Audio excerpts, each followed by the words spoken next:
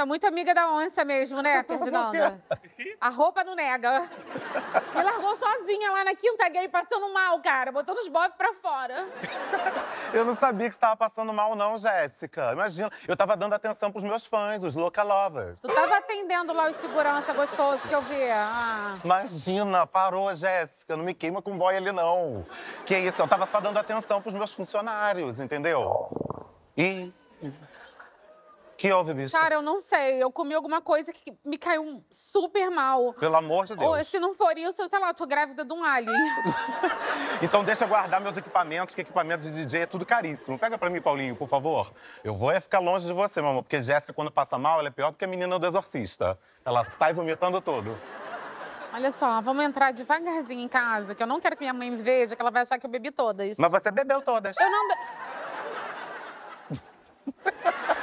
Você bebeu. Eu não bebi todas. Eu bebi cinco gin tônicas sem as tônicas.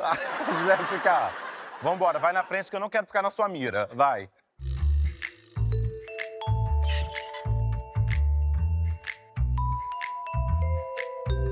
Girou